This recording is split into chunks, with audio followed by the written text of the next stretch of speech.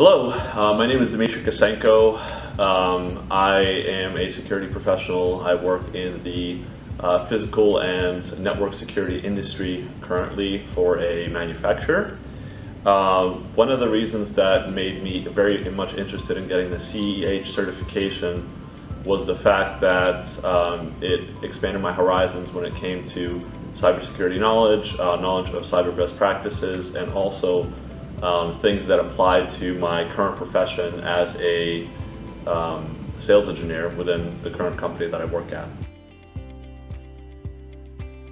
So what brought my attention to the CEH specifically was when I was doing my research um, for various cybersecurity certifications, I was looking at things like ISC squared, uh, CISSP, I was also looking at um, a few others and CEH kind of came to my attention uh, when I wanted to, you know, further my knowledge um, and my career in cybersecurity was the fact that it was more, uh, a little bit more hands-on, a little bit more technical, and covered a lot of the um, similar concepts that some of the other ones cover, but it was a little more application-based and more um, kind of oriented towards pen testing and the practical side of things when it comes to uh, cybersecurity knowledge. A lot of what I do currently involves uh, physical security, right? So we work a lot with um, integrator partners and uh, consultants, right, on more the physical security side of things as opposed to network security. However, I do work for a manufacturer that manufactures uh, network security devices, right? So everything sits on a network and uh, some of the customers that we deal with um, are very large and they have very complex networks. So having that knowledge, right, and having that background is definitely um, useful, right? It's definitely a benefit uh, in my line of work. Like, I said, it's not really a pre prerequisite per se, but it's more of a uh, benefit and it's more of a, um, an addition, an augment to what I do currently, right? Especially having to deal with, uh, have, or having conversations with IT departments, right, or uh, those who are in charge of overall security, right, more so um, the stakeholders, right, that manage uh, network security devices and also uh, determine the deployment of network devices going forward. So having that background uh, in cybersecurity knowledge, cybersecurity best practices, uh, definitely adds a lot of credibility um, when you go out there and you talk to customers and you talk to uh, your, your clients, right? Um,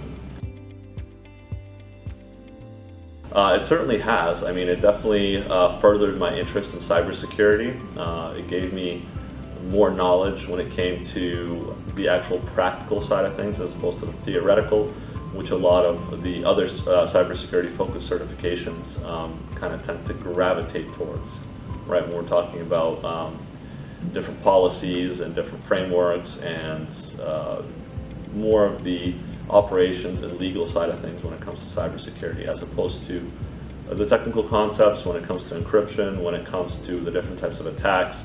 Uh, being able to use Kali Linux, for example, uh, was definitely a lot of fun, and it was uh, definitely educational and something that you know I continue to use in my uh, current circumstances. One of the things that I found most intriguing about the CEH program, um, I did it with a bootcamp course. Um, and one of the very nice things about it was we got very hands-on with uh, Kali Linux and the other security tools that we had at our disposal, right? To be able to uh, not only talk about concepts, but um, act out examples, run scripts, uh, you know, simulate a DDoS attack, some of those various things that you hear about, but you don't always necessarily know how they're uh, executed in practice, right? So more kind of from the pen testing world, uh, more aspects from the pen testing world was definitely the most interesting part of the CEH for me. Uh, I have worked on other certifications, for example, the CISSP, uh, which is much more kind of text-based and book-based, right? Um, you do a lot of memorizing, you do a lot of learning of concepts and things like that. And I say having the CEH definitely helped um, with a lot of those overlapping concepts as well um, in other uh, areas and other certifications, like, for example, ISC squared, CISSP. Um, I wouldn't say it's exactly the same. It's uh, a lot of ways it's very different, but a lot of the cybersecurity concepts are very similar as well. So uh, as far as the fun part, I think CEH is definitely more uh, kind of interesting from that aspect where uh, it's much more hands-on, right, as some of the other certifications that you can see out there. Um, I mean, certainly, yeah. I mean, you uh, at uh, you at EC Council have created um, this great program, right, for the CEH um, education and for the exam, right? So I definitely, you know, would like to say thank you to the EC Council team. It's definitely something that is um, furthering uh, people's education when it comes to cybersecurity. It's definitely something that's appealing and interesting to a lot of people. Uh, I say when I, you know, I mentioned my CEH certification to some of my colleagues or maybe other people that I meet in the industry, they're definitely very interested in it. It's definitely something that grabs people's attention as far as, you know, being a good certification to take um, for, you know, either those beginning in cybersecurity or kind of more seasoned professionals, which may already have in the field experience, but want to have that certification for, um, you know, enriching their resume or just for overall enriching their uh, knowledge base. So I think overall the CEH is a very worthwhile certification to take. Uh, it's very educational.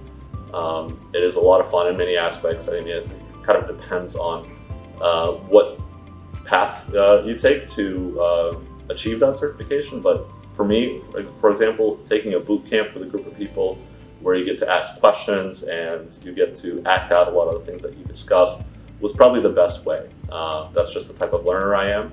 Uh, for someone else, you know, they might choose a different path. But overall, it's a great certification. I would highly recommend it. Thank you very much.